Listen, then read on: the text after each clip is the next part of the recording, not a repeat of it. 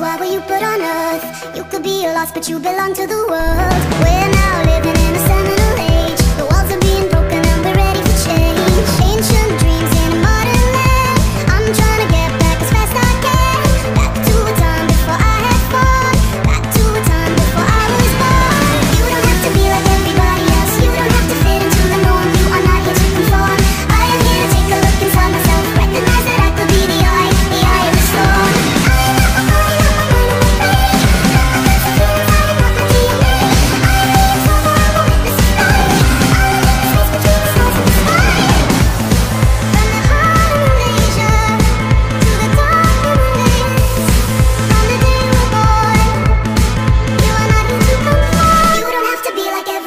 You don't have to fit into the norm, you are not here to conform. I am here to take a look inside myself. Recognize that I could be the